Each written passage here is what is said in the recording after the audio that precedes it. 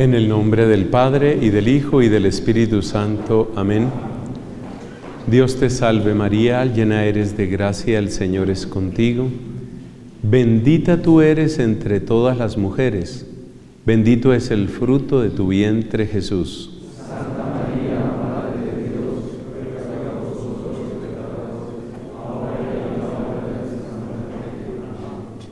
En el nombre del Padre y del Hijo y del Espíritu Santo. Amén. A veces para entender las palabras de Cristo toca tomarlas como por parejas. Le voy a dar varios ejemplos que esto le puede servir para la oración, también para la predicación. Hay que tomarlas como por parejas. Por ejemplo, mire esto, Cristo dice, a cada día le basta su afán. No os preocupéis por el mañana, a cada día le basta su afán. Esa es una frase de Cristo. Pero hay otra frase de Cristo donde Él dice, ¿quién de vosotros, si va a construir una torre, no se pone primero a hacer cuentas para ver si tiene con qué acabarla? Y si tiene que salir al paso de alguien que le ataca con 20 mil, hace cuentas para ver si con 10 mil lo puede detener. Entonces fíjese que la primera frase dice, no os preocupéis por el mañana. La segunda frase dice, haga cuentas. Usted se da cuenta que son dos mensajes casi opuestos. No son exactamente opuestos. No es que el uno sea la negación del otro, pero son casi opuestos, son complementarios. Entonces, para aprender de nuestro Maestro Jesucristo, es importante muchas veces ver el contexto más amplio de los evangelios y ver que hay frases que se complementan. Entonces vamos a ver vamos a ver otro ejemplo de cómo es necesario este complementar las frases de Cristo.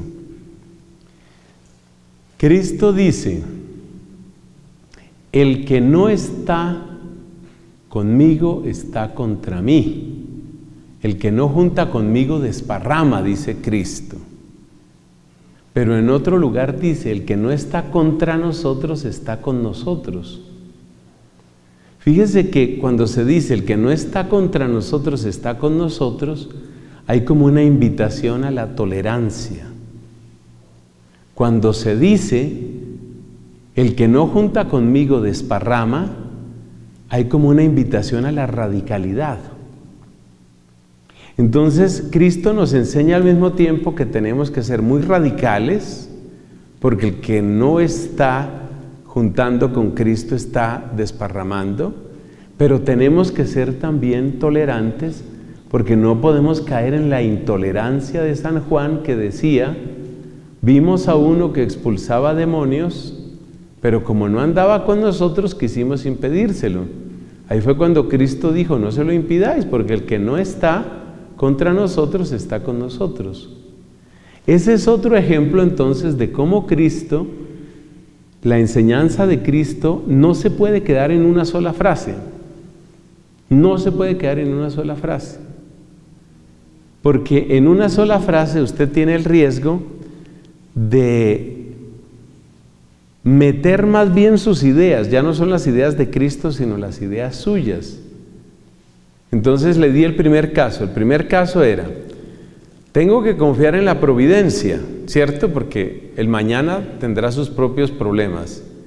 Pero después dijo Cristo, haga cuentas. Entonces, confiados en la providencia y a la vez previsivos, ¿ve?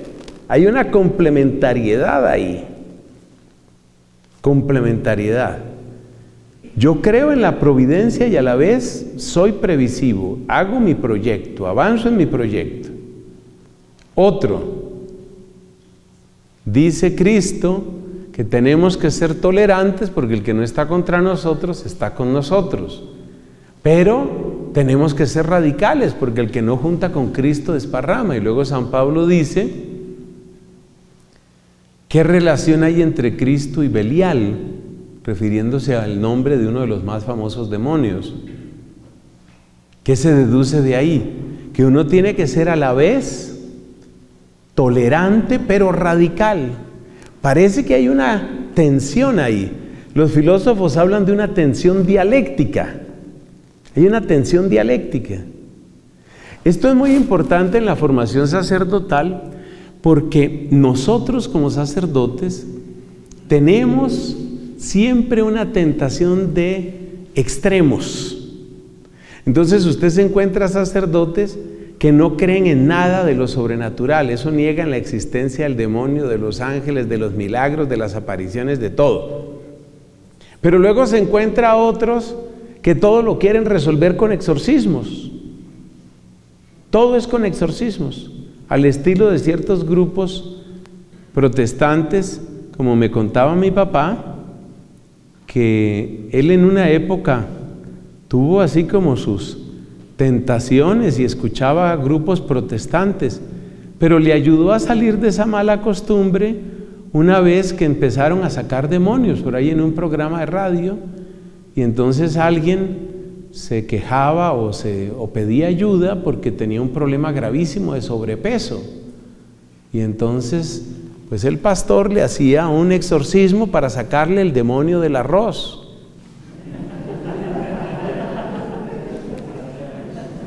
Entonces hay gente, hay gente que todo lo maneja con exorcismos.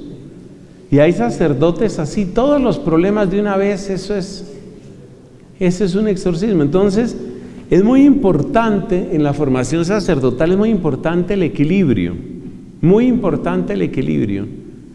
Equilibrio que no significa no comprometerse, sino tener como una especial prudencia para saber cuál es el principio que hay que, que, hay que aplicar en cada caso. Porque tenemos que aprender a ser radicales, pero nuestra radicalidad no nos puede volver intolerantes, insoportables, fanáticos. No, no puede ser.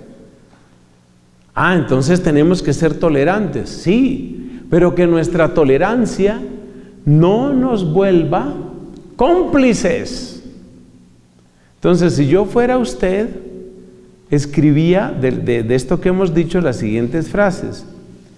Tolerancia sin complicidad. Ese es el sacerdote. Tolerancia sin complicidad. Por ejemplo, si yo soy tolerante, pero mi tolerancia me lleva a aprobar el pecado de las personas, eso ya no es tolerancia, hermano. Eso ya se llama complicidad.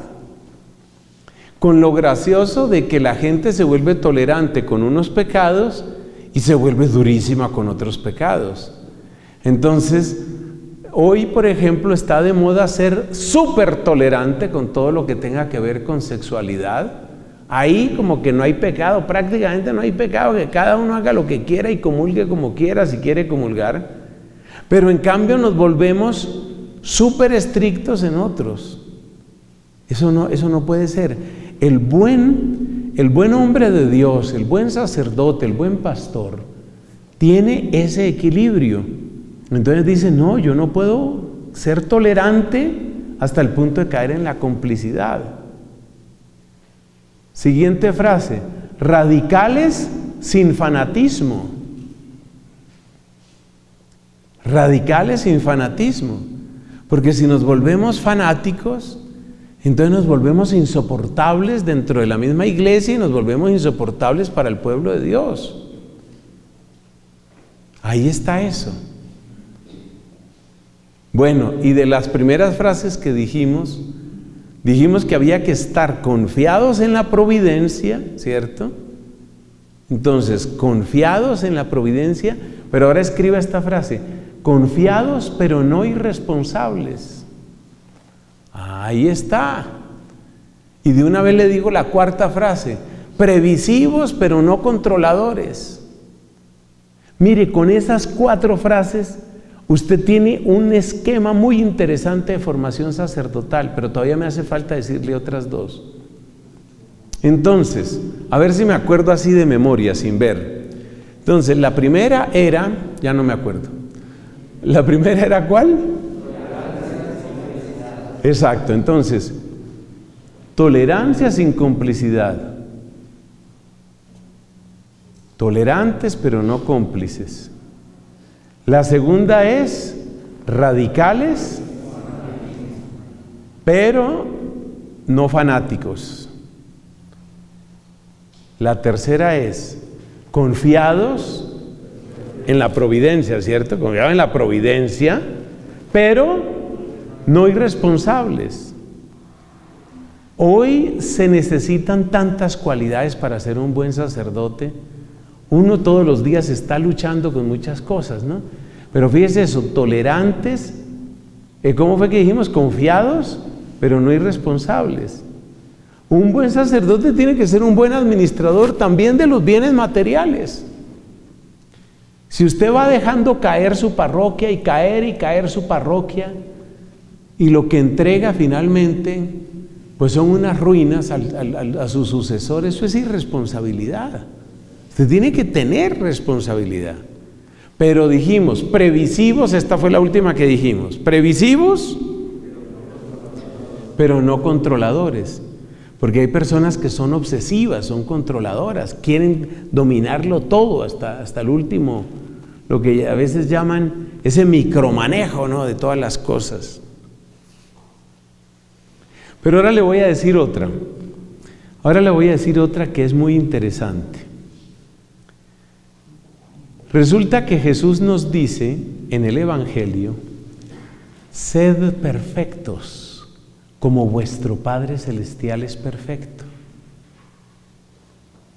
Guiados por los ejemplos anteriores, podemos suponer que también en este caso hay que buscarle un complemento a eso. Porque ¿qué pasa si usted se queda solo con esa frase, sed perfectos como vuestro Padre es perfecto, muchos de nosotros seguramente vamos a caer en el desaliento, en el desánimo. No, perfecto, pero ¿a qué horas y cómo? No hay manera de que yo sea perfecto.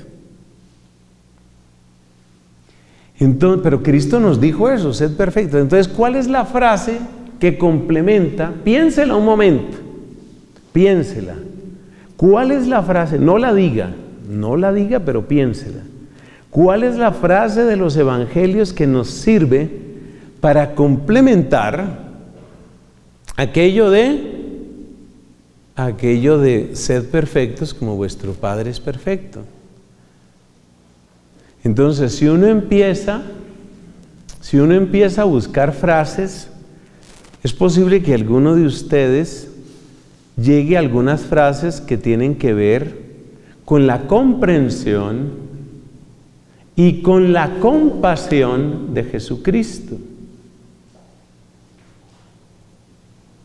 Porque Cristo, por ejemplo, en el Evangelio que se lee el próximo domingo, Cristo le dice al apóstol Pedro que estaba abrumado por la santidad y el poder de Cristo. Pedro cae, se postra ante Cristo allá en la barca y le dice, apártate de mí, porque yo soy un pecador.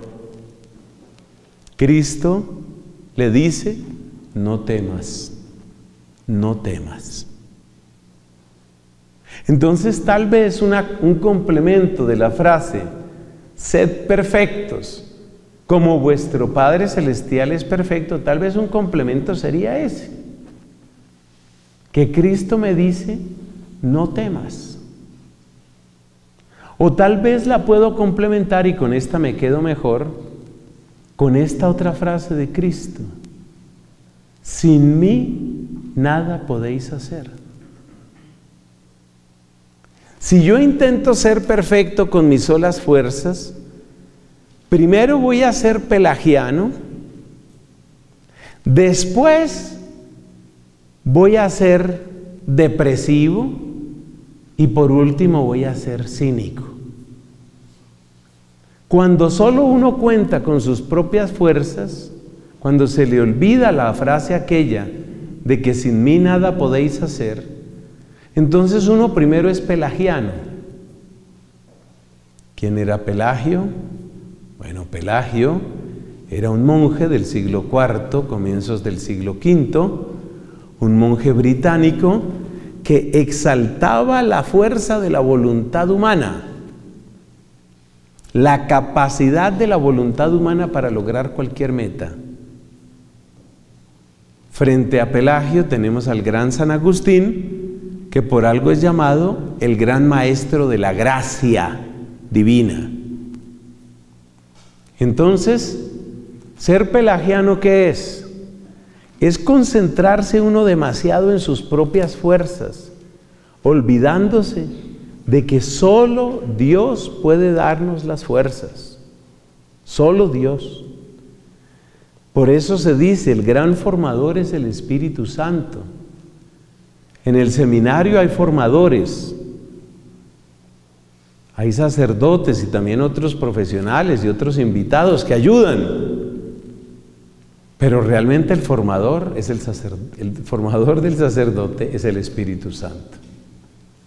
Es el Espíritu, el Espíritu de Cristo el que te hace semejante a Cristo el que hace que tú puedas tener, como decía San Pablo, nosotros tenemos el pensamiento de Cristo. ¿Qué frase? Entonces, si uno no invoca con frecuencia la gracia divina, uno cae en el pelagianismo, un exceso de confianza en las propias fuerzas y la propia voluntad, mal hecho. Eso sale mal. Y si uno entra por el camino de ser pelagiano, a medida que experimenta derrota tras derrota, después se vuelve depresivo, con depresión espiritual, no hablo aquí de depresión psicológica, y después se vuelve cínico. Bah, eso es así, todo el mundo lo hace. Entonces, ese es el resbaladero cuando uno no cuenta con la gracia divina. Se empieza por ser pelagiano, después uno se vuelve depresivo, melancólico, y después, entonces cae en el cinismo. Todo el mundo lo hace, da lo mismo. ¿Qué? ¿Cuál es el problema? Entonces hay que complementar las frases de Cristo. La primera frase de estas dos últimas que estoy mencionando es, sed perfectos, como vuestro Padre Celestial es perfecto. Sed perfectos. Pero eso hay que complementarla con la otra. Sin mí, nada podéis hacer. Entonces, ¿usted está aspirando a ser santo? Sí, la verdad sí. Usted, ¿usted está aspirando a ser santo? Sí, estoy aspirando a ser santo. Santo sacerdote. Pero con tanto defecto que usted tiene y con tantos problemas de su vida. Es verdad, es verdad. Pero yo sé que todo lo puedo en Cristo que me fortalece que ese es el complemento desde el punto de vista antropológico de la frase que nos dijo Cristo, sin mí nada podéis hacer. Pero volvamos a las frasecitas que estábamos escribiendo, que esas están muy buenas. Entonces, la frasecita decía que nosotros somos tolerantes, pero no cómplices. Y somos radicales, pero no fanáticos. Somos confiados en la providencia, pero no irresponsables. Y somos previsivos, pero no controladores. Con estas última, esta última pareja de versículos, tratemos de construir otras dos frases. Una frase destaca la búsqueda de la perfección. Buscamos la perfección esa no nos resulta tan fácil para hacer la cortica. Entonces podemos poner una frase como esta. buscamos la perfección, pero no somos pelagianos. Es decir, no nos fiamos únicamente en nuestras fuerzas. Buscamos la perfección, pero no somos pelagianos. Importante. Y la otra frase, ¿cómo sería? Es la que tiene que ver con que Cristo está de nuestro lado. Él también dijo, yo estaré con vosotros todos los días hasta el fin del mundo. Entonces, ¿hay que decimos? Nos fiamos de la gracia, pero trabajamos cada día. Ahí ya le quedaron las seis frases Ahí quedaron las seis frases. Las últimas dos fueron, buscamos la perfección, pero no somos pelagianos. Y la otra, decimos, ¿cómo es? Nos fiamos de la gracia, pero trabajamos cada día. Y no es una contradicción que yo tenga que trabajar. Si Dios me ha dado su gracia, no, no es ninguna contradicción. ¿Por qué no es contradicción? Porque la gracia lo que hace es sanar la voluntad para que la voluntad haga lo que tiene que hacer, que es buscar el bien.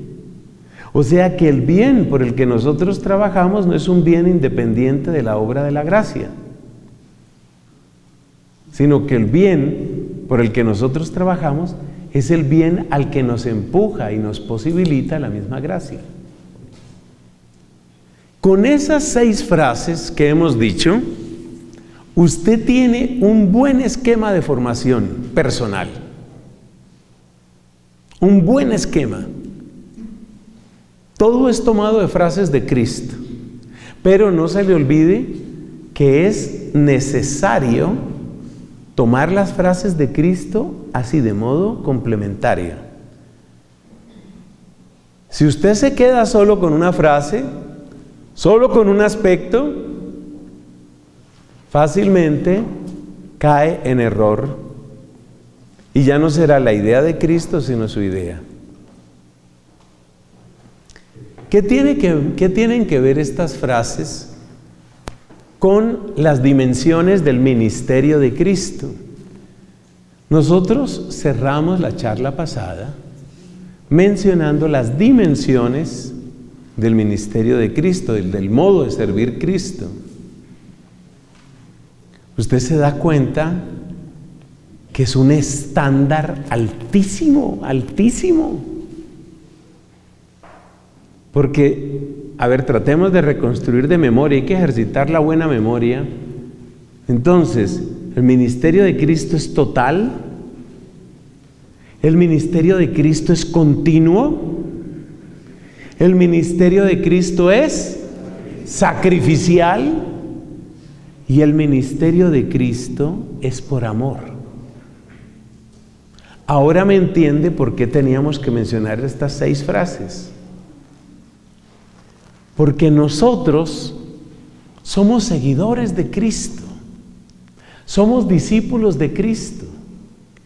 Y la verdad es que la inmensa mayoría de la gente nos busca queriendo encontrar a Cristo. Ellos no buscan a Antonio, a Ricardo, a Jairo o a Nelson. Si buscan al sacerdote, están buscando a Cristo. De hecho, si una persona me busca demasiado a mí sin buscar a Cristo, esa persona es un terrible peligro y una terrible amenaza para mí. El que te busca a ti y no, te está, no está buscando a Cristo, ¿qué quiere realmente de ti? ¿Tu tiempo, tu talento, tu trabajo, tu cuerpo, tu dinero? ¿Qué quiere? Entonces es una frase sabia para la, para la formación sacerdotal, esa. ¿Cuál? Los que me buscan, buscan a Cristo. Esa es la grandeza y esa es la inmolación del sacerdote. Es grande que busquen a Cristo en mí, es grande. Esa es toda la grandeza del ministerio. Están buscando a Cristo cuando me buscan.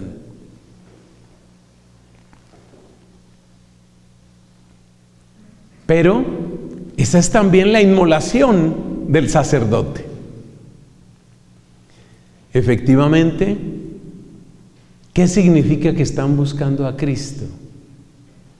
Que yo, con mi nombre y con mi apellido, no soy lo más importante. Por eso, todo sacerdote ha de cultivar la espiritualidad de San Juan Bautista. Conviene que Cristo crezca y que yo disminuya. Y en cierto sentido, la formación sacerdotal no es otra cosa sino eso. Pero por amor, por amor. Entonces es un ministerio total, continuo, sacrificial, pero por amor. ¿Podemos lograr eso? No. Pero si aplicamos las seis frases que dijimos antes, sobre todo las dos últimas, resulta que Dios sí puede hacer maravillas. Y hemos conocido sacerdotes santos. Yo me atrevo a pensar que yo he conocido sacerdotes santos. Me atrevería a decir, por lo menos, por, por ser prudente le pongo este matiz, sacerdotes que murieron en santidad. Yo me acuerdo, por ejemplo, cuando estaba en mi tiempo de diácono, solía confesarme con un sacerdote, yo en esa época vivía en el convento que tenemos los dominicos en Chiquinquirá, convento que atiende el santuario de la Virgen. Y me acuerdo, me acuerdo un sacerdote con el que yo solía confesarme. Como él pasaba muchas horas en el confesionario, yo lo buscaba más bien temprano, antes de que se ocupara. Más de una vez me decía él, he pasado una noche terrible, estaba muy enfermo, de hecho no vivió mucho después. Pocos meses después falleció, estaba muy enfermo. He pasado una noche terrible, prácticamente no he podido dormir pero con todo gusto te atiendo. Y no solo a mí, a tantas otras personas. Ese es solo un ejemplo de las muchas virtudes del sacerdote Heriberto Santa María. Yo lo conocí. Muy probablemente un santo de Dios. Por lo menos el final de su vida, de lo que yo puedo hablar, me dio tanto testimonio. Entonces el ministerio de Cristo es total, continuo, sacrificial y por amor. Ese es el ministerio de Jesucristo. Así lo vive Él. Y nosotros somos seguidores de Cristo. ¿Por qué la gente está buscando a Cristo en nosotros? Y esa es la grandeza de nuestra vocación. Pero eso también es lo terrible, terrible entre comillas, de nuestra vocación. Porque si están buscando a Cristo en mí, ¿dónde quedo yo? Para un rato así de oración que usted tenga, escribo por ahí esa frase. Si están buscando a Cristo en mí, ¿dónde quedo yo?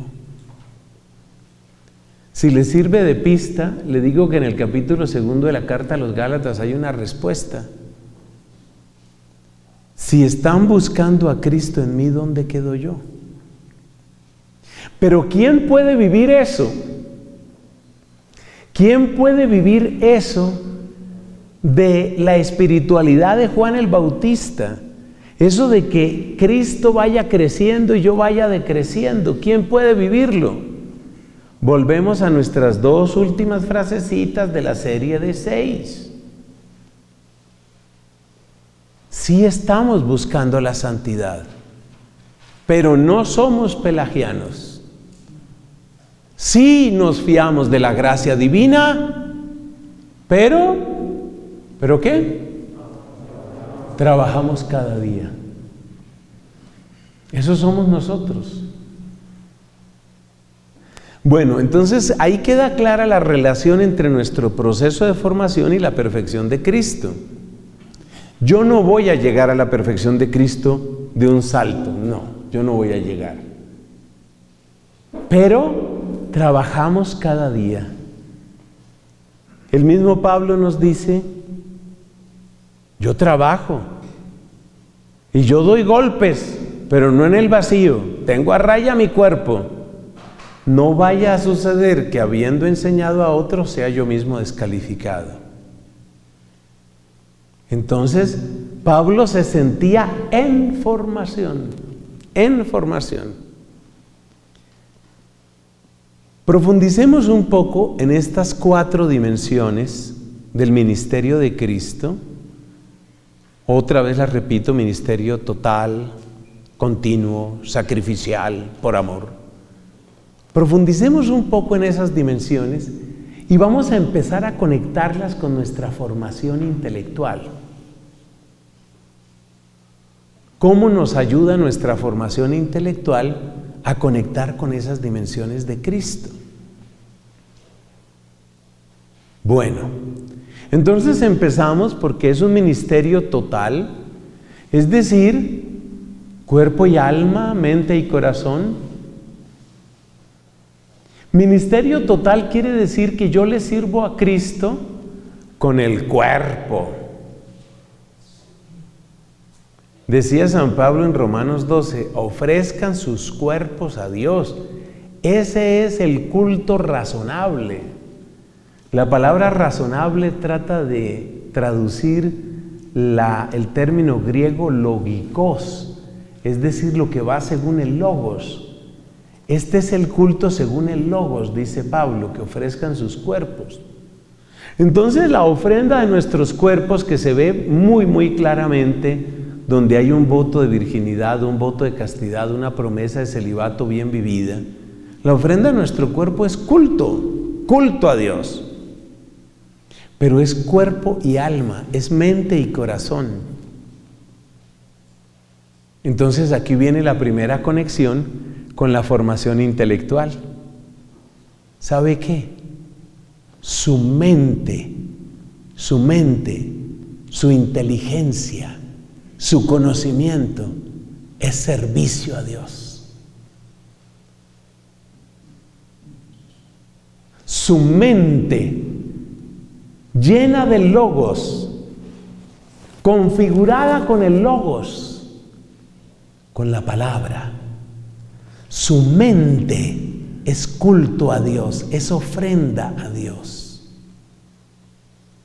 Usted le está dando una ofrenda a Dios con su inteligencia.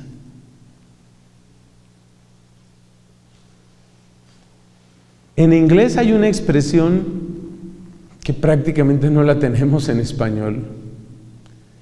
Hay una película que fue muy famosa que se refiere a un genio de las matemáticas y esa película en inglés se llama A Beautiful Mind. Beautiful Mind. Literalmente sería una mente bonita, bella. Eso en español no se dice. Nosotros no tenemos esa expresión. No utilizamos el adjetivo bello para referirnos a una mente, a una inteligencia. A beautiful mind. Bueno, Pero apliquemos eso. ¿Qué es una mente bien formada? Es una mente bella, bella. ¿Y dónde está la belleza de la mente? En la estructura y el orden. Eso se demuestra fácilmente. Aquí me apoyo en un ejemplo que alguna vez utiliza Santo Tomás de Aquino Dice Santo Tomás de Aquino, es un ejemplo muy parecido, ¿no? Tome usted un, número de ladrillos, 3.500 ladrillos, póngalos en un montón.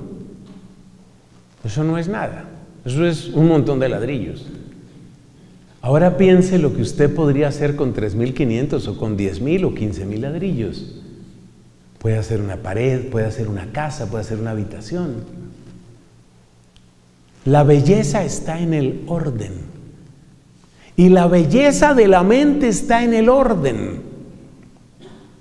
Entonces servir a Dios con nuestra mente es tener una mente ordenada. Vamos por partes. No se me desconcentre, vamos por partes. Tener una mente ordenada. Entonces uno, ¿por qué estudia? Alguien podría decir, bueno, tengo que estudiar porque si no estudio, pues nadie me ordena. Esa sería una mentalidad de mercenario. Esa mentalidad da tristeza.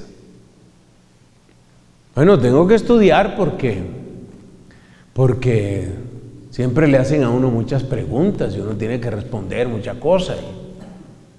Esa sería una respuesta mejor, pero una respuesta puramente pragmática. La mejor respuesta, y aquí es donde se conecta lo vocacional, lo espiritual y lo intelectual, la mejor respuesta es, yo estudio porque quiero orden en mi mente. ¿Y por qué quiero orden en mi mente? Quiero orden en mi mente porque la mente ordenada es un homenaje al logos. Quiero una mente ordenada porque la mente ordenada sabe ponderar las preguntas, situar los problemas y encontrar respuestas. Quiero una mente ordenada porque la confusión es el reino de Satanás. Quiero una mente ordenada. Entonces, ¿cómo hemos llegado al tema de la mente ordenada? Hermanos queridos, hemos llegado a la mente ordenada porque hemos hablado del servicio total. Entonces, si usted es un gran trabajador, por ejemplo, está en una zona difícil, zona rural difícil, le toca recorrer veredas, tal, y usted pone sus fuerzas al servicio de eso. Hermano, lo admiro y lo felicito y muy bien, y le agradezco. Perfecto. Su cuerpo está funcionando muy bien. Pero piense esto. Si usted está trabajando duro con su cuerpo, bien, pero es que el servicio es total, es cuerpo y alma, es cuerpo y mente. Yo tuve ocasión de predicar un retiro a sacerdotes en un lugar que muchos queremos mucho, que es La Ceja, allá de la diócesis de Sonsón Río Negro, ¿no? Sonsón Río Negro. Bueno, entonces prediqué un retiro allá, un retiro carismático allá en la, en ceja. Y en los descansos hablaba con los sacerdotes. Oiga, ¿cómo hay de sacerdotes héroes en este país, caray? ¿Cuánta gente realmente dándola toda? Por ejemplo, un padre me contaba la cantidad de veredas que tenía allá en su parroquia, en una parroquia rural. Pero es que el problema no es el número de veredas, el problema son las distancias y la falta de vías de comunicación. Entonces me decía este padre, Dios lo bendiga, yo pienso que debe estar vivo porque eso no fue hace tanto, me decía este bendito sacerdote, a mí me toca pensar muy bien cómo distribuyo mi tiempo y mis viajes y todo. Porque resulta que yo puedo visitar las veredas a veces cada dos, cada tres semanas. Algunas de las más alejadas prácticamente cada mes. Entonces, ¿qué hacía él? Él se iba a la vereda y estaba allá por lo menos una noche, un día y algo más. Trataba de quedarse como día y medio, celebraba dos o tres misas, hacía confesiones unción de los enfermos, mejor dicho, todo lo que podía hacer allá. Usted se preguntará dónde entra el tema de la mente. Para este sacerdote, un héroe para mí, para este sacerdote, su oportunidad de evangelizar ese punto tan alejado es una oportunidad de horas al mes. O sea que usted suma todas las horas que él pudo predicar o bueno, algo, prestar un servicio en esa vereda durante todo un año, le da, no sé, cuatro, cinco horas, seis horas. Por supuesto que él estaba ya disponible para más gente. ¿Por qué le estoy diciendo esto? Porque si usted tiene luz en sus palabras, usted aprovecha bien esa hora. Le doy otro escenario. Para la gran mayoría de los católicos, la única formación que reciben en su fe es la humilía. Eso está demostrado.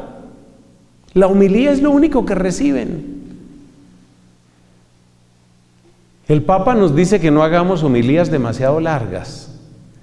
Pero supongamos que usted tiene una comunidad que recibe bien una humilía de 15 minutos. 15 minutos empieza a ser ya muy larga para los estándares típicos de este país.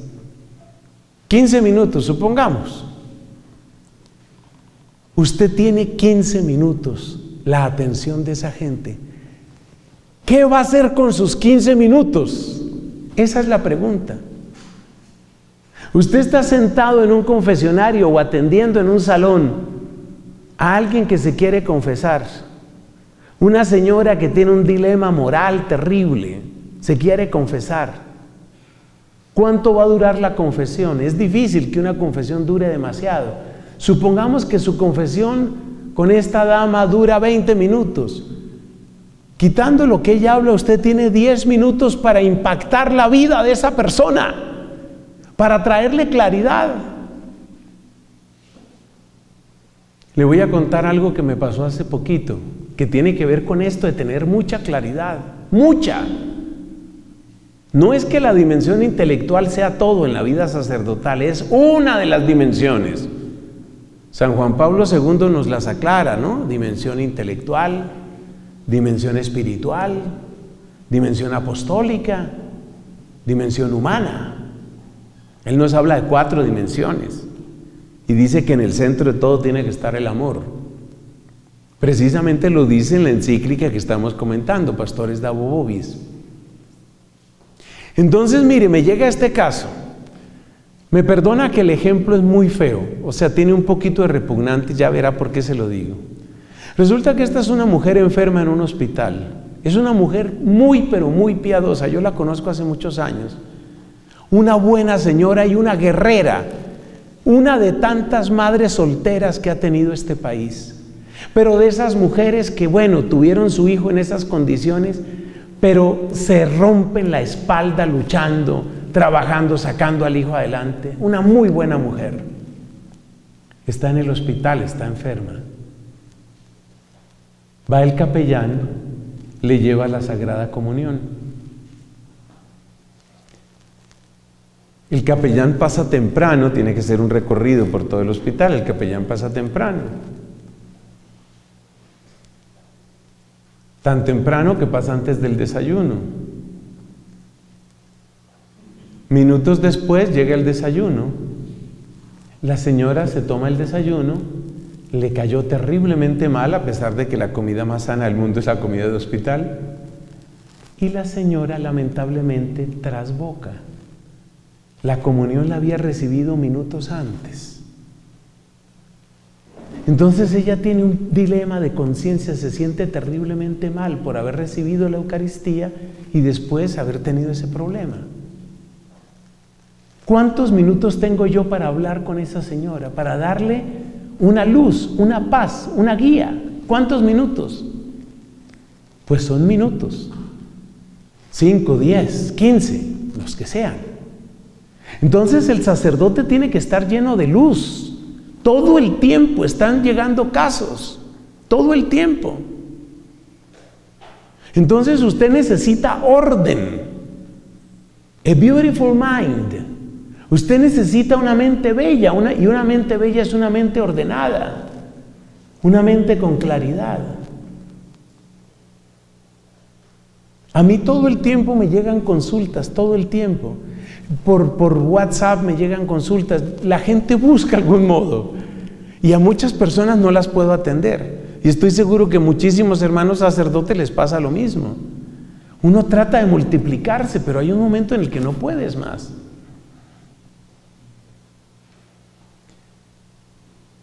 Por teléfono, consulta por teléfono. Y el tema es que nadie te avisa cuando te va a consultar. Padre, necesito una conversación con usted. Y uno trata de darles el tiempo, pero uno no sabe con qué se va a encontrar. Me dice la persona con la que hablo, llamada de larga distancia, Padre, yo no creo en las vacunas. Por ahí empieza la conversación. Yo no creo en las vacunas, yo creo que eso es parte del nuevo orden mundial. Yo creo que lo que quieren es la eliminación de la raza humana. Bueno, y otra serie de cosas todas en contra de las vacunas. Bill Gates está detrás de esto. Entonces uno escucha, uno trata de entender, uno recuerda lo que le han enseñado pues el Papa, los obispos sobre este tema tan terrible de la pandemia. Pero no les estoy hablando de cualquier laico, este es un laico bastante formado. Y me dice, yo sé lo que dice la Iglesia Católica con respecto a la conciencia. La Iglesia dice que uno no puede obrar en contra de la propia conciencia. Y créame, Padre, que yo he estudiado esto muchísimo. Me dice además esto. Yo sé que usted tiene una idea diferente, porque yo en varios videos pues he expuesto simplemente lo que dice la iglesia. Es que yo les quiero contar que yo como predicador yo no tengo ninguna pretensión de originalidad. A mí no me interesa ser original, mi servicio es presentar lo que dice la iglesia, ese es mi servicio, punto. Bueno, entonces me dice él, yo sé que la posición suya es diferente porque yo he visto sus videos, Padre Nelson, pero yo no puedo desobedecer mi conciencia. Entonces yo estoy a este lado del teléfono oyendo todo eso y pidiéndole al Espíritu Santo que me ayude y que me ilumine, porque uno no quiere lastimar ni ofender a nadie. Y uno no puede jamás burlarse de nadie, jamás. Así uno esté en desacuerdo, de caridad jamás. Usted piense que la persona que se acerca a usted es siempre uno de aquellos de los que habló Cristo, un pequeñito. Y Cristo dice, cuidado con lastimar a mis pequeños. Uno tiene que tener un respeto y una caridad y una decencia con todo el mundo, con todos. Vengan de donde vengan y piensen lo que piensen. Entonces me habla este hombre de esa manera. Yo sé que yo no puedo obrar en contra de mi conciencia, pero cada vez ponen más restricciones y están pidiendo el pasaporte de vacuna, lo están pidiendo en muchas partes. Padre, mi consulta es esta, después de echarme toda esa historia. Yo tengo un amigo que me consigue el pasaporte ese, obviamente sin vacunarme, ¿no? O sin vacunarse él. Yo tengo un amigo que me consigue el pasaporte ese, porque yo no me voy a meter esa vacuna. Yo no le voy a hacer ese daño a mi cuerpo. Esa es la manera de pensar de él, ¿no? Esa conversación fue larguísima. Yo le hablé mucho del tema moral, sobre la elaboración de las vacunas, sobre el cuidado del bien común, sobre la responsabilidad compartida que tenemos en una comunidad humana. Nosotros no somos solos. Bueno, le hablé todo lo que dice la iglesia. Yo creo que hablamos en total como una hora.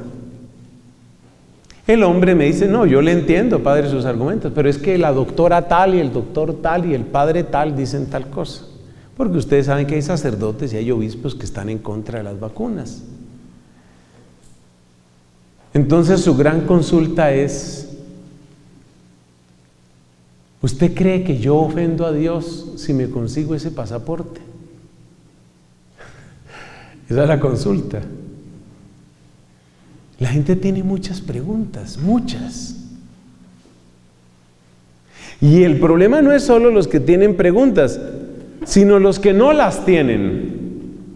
Ese es otro problema. El problema de los que no tienen preguntas, de los que están demasiado cómodos en sus posturas. Entonces a veces al sacerdote le toca aliviar la conciencia de una persona, como la pobre señora esta que tuvo ese episodio con la Eucaristía. Entonces ahí tiene uno que recordar sus clases de teología, en qué momento se completa la obra de la gracia en la Eucaristía. Si usted no tiene eso claro y le llega esa consulta, bueno, lo más honesto que usted puede hacer es espere, voy a averiguar. O le llega la consulta del que quiere el pasaporte falso de las vacunas. O le llegan otras consultas, otras. Pero además de tranquilizar a la gente, a veces hay que intranquilizarla. Porque intranquilizar a las personas también es importante. ¿Y cómo se intranquiliza a las personas? Recordándoles lo que ellos no quieren ver. Y ahí es donde uno pierde amigos. A veces pierde amigos, a veces los gana. Por ejemplo, un tema delicado, el tema de los anticonceptivos.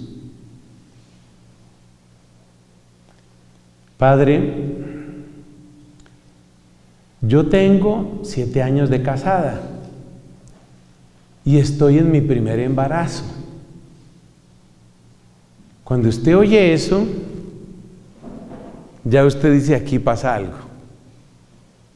Entonces usted tiene que arreglárselas para preguntarle a la persona con mucha decencia, porque repito, hay que ser decentes y caritativos ¿Usted tenía alguna dificultad para quedar embarazada? No, no, no, para nada, padre, para nada. Sino que, pues con mi esposo nos pusimos de acuerdo en que primero íbamos a entendernos, íbamos a disfrutar el matrimonio. Mm, ya. Entonces ya usted se va haciendo un cuadro de lo que está pasando en esa vida y en ese matrimonio. Pero usted tiene que ser prudente. Y usted tiene que tener su cabecita muy, pero muy bien organizada. Muy organizada. La cabeza hay que tenerla muy organizada. Entonces le hace otra pregunta a la señora. Usted le dice, ¿y ustedes han seguido los métodos naturales, métodos del ritmo, Billings o alguno de estos métodos? Porque usted tiene que evaluar la gravedad de lo que puede estar pasando ahí. No, la verdad, Padre, eh, a mí me pusieron y me están reemplazando cada cierto tiempo, a mí me pusieron un dispositivo intrauterino. A usted le toca incomodar a esa persona. ¿Usted sabe cómo funciona el dispositivo intrauterino? No, me dijeron que era un anticonceptivo muy seguro. Pues lo utilizamos con otras cosas, pero, pero nos dijeron que eso ayudaba mucho. Usted sabe que el dispositivo intrauterino no impide que haya concepción. Ay, ¿cómo así, padre? Claro, es mujer, es inteligente, se da cuenta para dónde va eso. ¿Cómo así, padre? O sea que sí puede haber concepción, pero yo nunca quedé embarazada. ¿Usted se da cuenta para dónde va esta conversación? No, el dispositivo intrauterino no puede sellar la matriz de usted, señora. El dispositivo intrauterino lo que evita es la implantación. Es lo que hace. O sea que probablemente usted ha concebido y esas criaturas han sido eliminadas porque no pudieron implantarse. ¿Qué estoy haciendo con ese comentario que ya va a hacer que la persona no me vuelva a hablar en 10 años? Estoy incomodándola. Entonces hay que incomodar con respeto. Analice eso, hay que incomodar con respeto. Pero hay que incomodar, hay que incomodar. Y no solo en temas de reproducción humana ni en temas de sexualidad, en temas de economía hay que incomodar. En temas de justicia hay que incomodar. Pero para incomodar hay que estar muy bien informado, hay que saber muy bien cómo son las cosas, hay que saber lo que está pasando. Entonces, el ministerio de Cristo es un ministerio total, total. Ese ministerio total incluye tu mente. El ministerio de Cristo es un ministerio continuo. Y si es un ministerio continuo, significa que tú no sabes, que ya lo he destacado en mis historietas que he contado, tú no sabes en qué momento te llega un desafío. Un desafío que puede ser muy complejo. No todos los desafíos son terriblemente urgentes, no todos. No todos los desafíos son así contra reloj, no. Pero todos requieren un gran discernimiento, una gran prudencia, una gran sabiduría. Le cuento otra historia, porque es que uno aprende mucho de las historias. Un sacerdote amigo mío tenía precisamente una parroquia rural. O sea, una pequeña población, pero la mayor parte de su, un pequeño municipio o caserío lo que sea, pero la mayor parte de su parroquia era campo. Bueno, se le metió a este padre la idea, una idea muy, muy buena, yo creo, se le metió la idea de de hacer una emisora. Como en este país, Colombia, el gobierno varias veces ha apoyado las emisoras comunitarias y las deja libres de impuestos y da una serie de, de ayudas, pues el padre, muy apostólico, dijo, bueno, vamos a hacer una emisora comunitaria. Pero una emisora comunitaria vale plata, claro. Bueno, surgió un benefactor de ahí de su del terreno de su parroquia, de ahí surgió un benefactor. Bien, bien. Compraron equipos, esa antenota que hay que poner. Él quería sobre todo su, su, emisora, la quería para poder llegar más fácilmente a la gente. Ya está. Un hombre generoso con su tiempo y con sus talentos. Y él todos los días agarraba su micrófono y transmitía la misa, bueno, hacía cosas, los rosarios, las novenas, todo. Los equipos requieren mantenimiento. Los estándares técnicos van subiendo. Cada mantenimiento y cada mejora de los equipos requiere una poderosa inyección de dinero. Ahí estaba el benefactor. Benefactor que le sumó, le firmó cheques por bastantes millones. Esta historia tiene sus años, como muchas de las mías. Era la época en que las emisoras utilizaban unos cassettes infinitos, o sea que termina el cassette y vuelve a empezar para las propagandas. Yo soy tan viejo que yo alcancé a conocer eso en la emisora Reina de Colombia de Chiquinquirá, yo conocí esos cassettes. Usted graba la propaganda, por ejemplo, de 30 segundos, usted mete el cassette, pasa la propaganda a los 30 segundos y queda listo para la próxima vez que usted vuelva a meter el cassette. Es un, un inventico que sirve. Se presenta el benefactor, se presenta allá en la casa cural de mi amigo el padre. Padre, mira, te voy a pedir un favor muy especial. Pues tú sabes que tú y yo somos amigos. Yo me voy a lanzar para la alcaldía.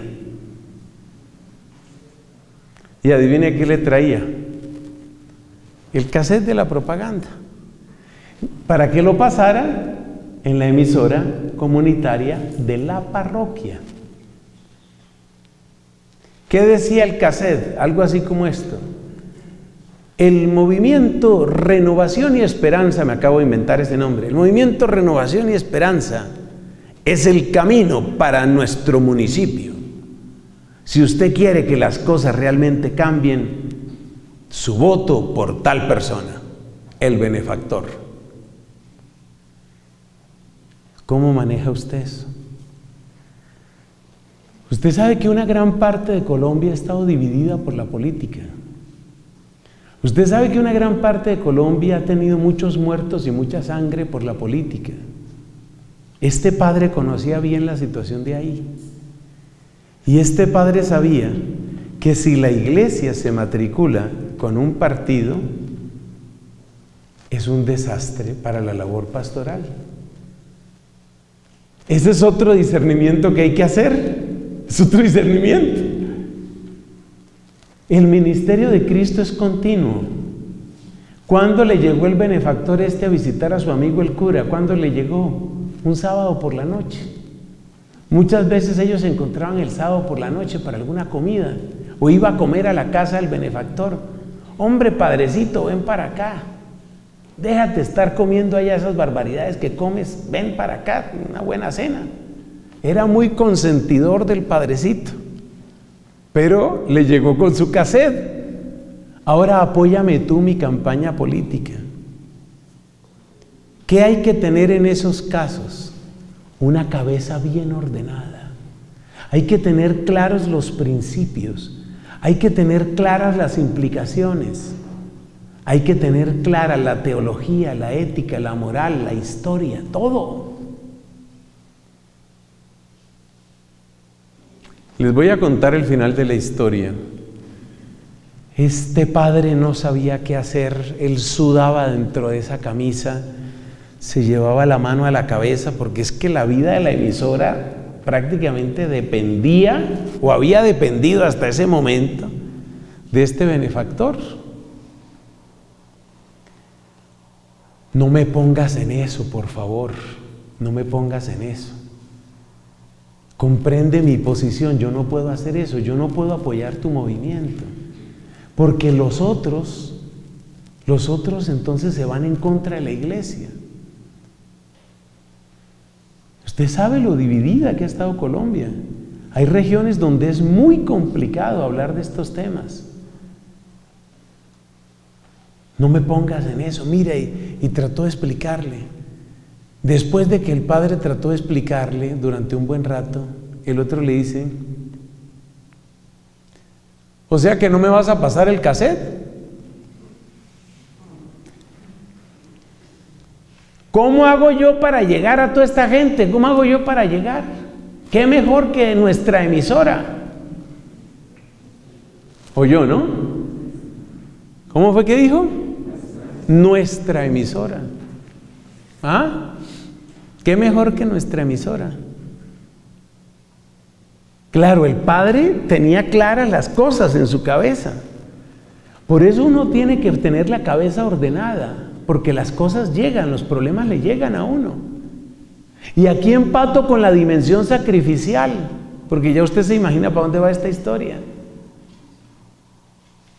Pobre padre, yo me lo imagino, le sudaba esa frente, sufría, y le dice, no, pero es que realmente no puedo, no puedo, no puedo. Y se mantuvo en que no pudo, no podía. Ah, bueno, padre, no, muy bien, perfecto. Yo es que pensé que podía contar contigo. Bueno, muy bien. Entonces, eh, fulanito, hágame el favor de llevar al padre a la casa cural. Y el chofer, ¿no? Obviamente era gente de chofer. Fulanito, hágame el favor de llevar al padre a la casa cural. Salió de la misa, salió de la, ¿cómo es? De los cheques, salió de los cheques, salió de la amistad.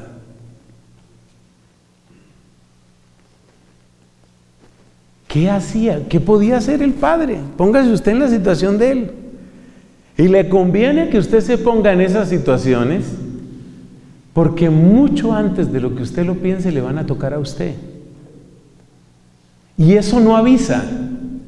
Cuando el, el político, porque ya se volvió político, cuando el político este le dijo, aquel fatídico sábado, le dijo, hombre, ven, ven, ven, te invitamos a, a cenar. Tú sabes que aquí tú puedes llegar sin avisar, pero hoy te estoy invitando formalmente, ven. Y el padre pues terminó su misa el sábado y se fue feliz. ¿Quién no disfruta una buena compañía, una buena conversación y una buena comidita? Pero mira la que le tenía. No, ese pobre padre salió con indigestión de ahí. Ahora, ¿qué hago yo? Entonces, todo esto es para decir que las dimensiones de Cristo son las nuestras. Y todo esto es para decir que la cabeza hay que tenerla ordenada antes de que lleguen los desafíos. ¿Usted cree que ese padre podía en el momento en el que éste le dijo, mira, aquí te tengo este cassette? ¿Usted cree que él en ese momento podía decir, póngale pausa, detengan el mundo, voy a analizar el tema?